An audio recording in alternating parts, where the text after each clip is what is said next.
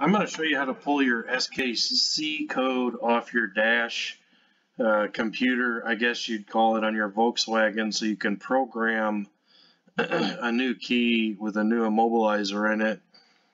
Most of the pe people that are looking at this have just bought an old Volkswagen from mid 2000s and they're looking to get a second key because uh, obviously you don't want to lose that one and really be in a mess. But anyway, let's get to it. It used to be you had to use a uh, software called VAG Commander or VAG Tacho, or apparently uh, or there may be some other programs out there to pull this SKC code off of the dashboard computer in your Volkswagen. Once you have that code, you can use your normal VCDS, your slash Ross-Tech software that a lot of us already have to program that new immobilizer, but Ross-Tech itself could not get your PIN number. So this guy in 2020, you can see this is from TDI Club, where, you know, a lot of guys go for their Volkswagen information, not just the diesel guys, but this is mostly diesel uh, specific. Anyway, this guy created op an open source uh, program, I guess you would call it, that the rest of us can access and even modify if you have knowledge in that stuff. I don't. I'm ignorant to all that. I've struggled through this and I was successful, and that's why I'm really sharing this to help people uh, maybe struggle their way through finding this SKC code to help with programming the programming their new key. Now this this is really some awesome stuff, and you'll see there's 33 pages of it where it's capable of doing a lot of other things. I'm just going through specifically getting that SKC code, and that's all I needed. Needed it on two cars, actually. So what you're going to do, uh, you can follow this link here, but this takes you to his page. The guy's name, actually, let's go back one. This is where you should go, this page here, and I think that's where that link takes you uh, from the TDI Club. There's his name, Greg Menounos. And you can and should donate to him right here if that's successful for you, especially if he answers you personally on the TDI Club. So he describes a little bit of what it takes here, but that's not enough for a normal guy like me to be able to get this stuff figured out. There's still a lot that I had to figure out besides this. Probably one of the more difficult parts is using, uh, equipping your computer to allow your Ross-Tech cable to communicate with his open source app software, if I'm using the right terminology. So just doing that is hard enough and it's not described well on the internet. But I found one source, this guy right here. So first we got to get our Ross-Tech cable, the ability to work and I'm going to show you that first, and then I'll show you how I was able to pull the SKC code once that was set up appropriately. If you have other cables, maybe you don't have to go through this. I don't know, but most of you guys do.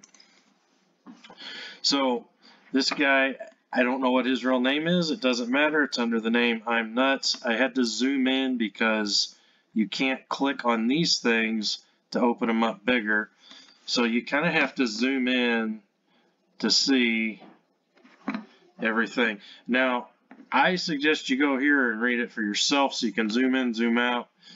I'm going to scroll through this though in case this page is not up for some reason uh, by the time you look and maybe uh, you're going to still need this info. Basically, you go into dev uh, device manager and use a process to install a different driver on your computer for this Ross-Tech cable so it can go to a COM port rather than whatever port it normally works from. Fortunately, even when you do this, it doesn't ruin your uh, established connection with Ross-Tech software. Like you don't have to switch things back and forth each time you want to uh, use this cable for one thing or another. We're about done here. Now, one thing I had to do was the second start, uh, part of the process. It wasn't exactly uh, the way he describes it here.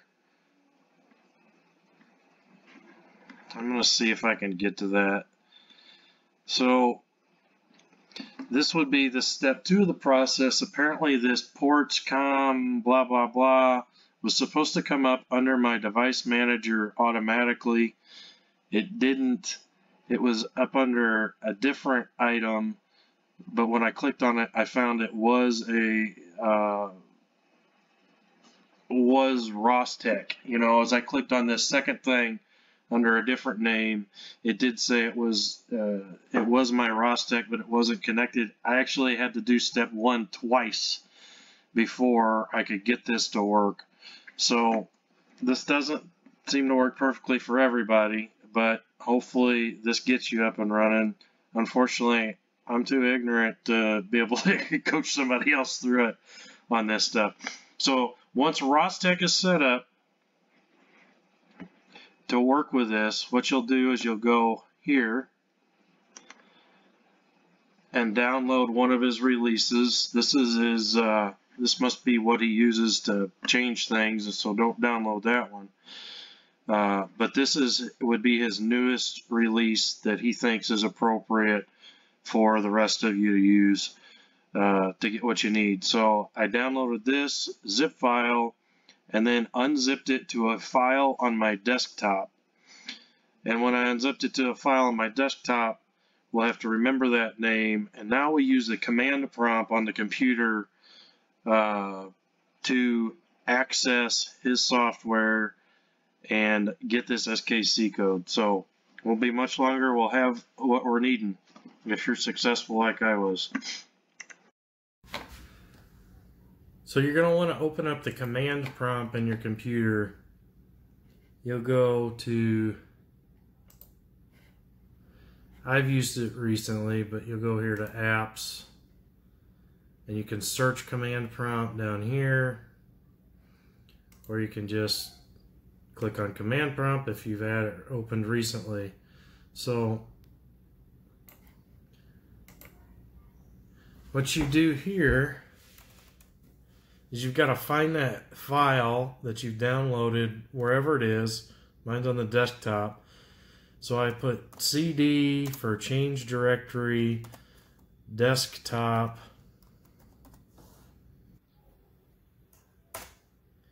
and then I type CD and then wherever that location is on my desktop. And so I'm just going to bring up my other one where I had a successful read on things here.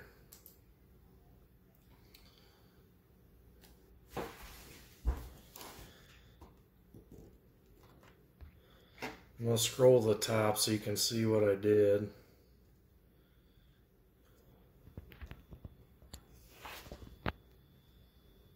So you can see that I put CD desktop and then CD where the where my file's at, that's the whole name. That two's nothing secret. That's actually in the file uh, name on my desktop.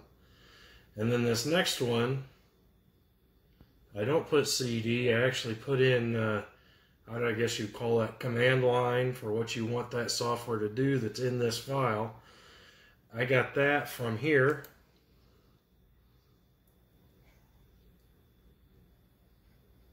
That's where I pulled that. Now this COM3, you have to know what uh, virtual port or whatever your Ross-Tech's plugged into.